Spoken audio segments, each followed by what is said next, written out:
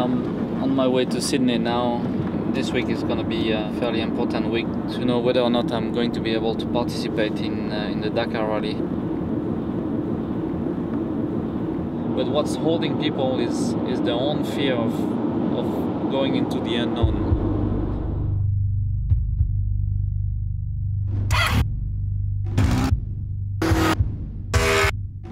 Have in the studio Christophe Barriere-Varju, Australia's premier Dakar motorcycle racer in the toughest rally in the world. Voila. You have to train and train and train and train and train. A lot of cardio exercise because you do about two to three marathons a day for 15 days. So you have to be physically fit.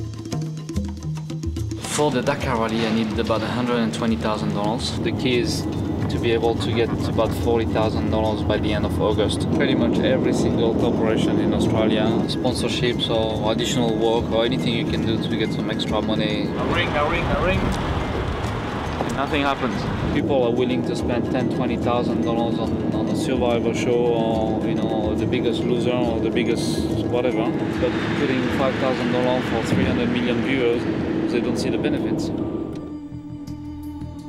every single person in the Dakar Rally believe that anything is possible. That's why you start the biggest and most difficult race in the world.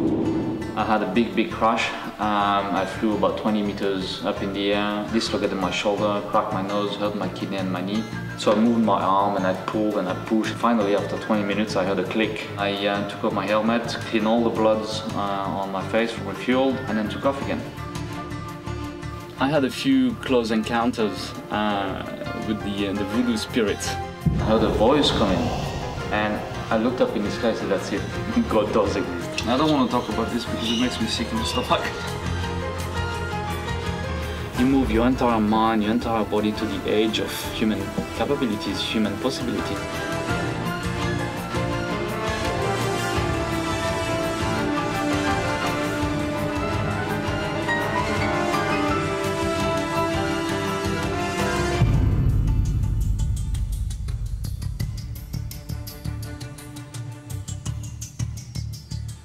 What is it that you have done in your life that make you say yes i'm happy of having had such a life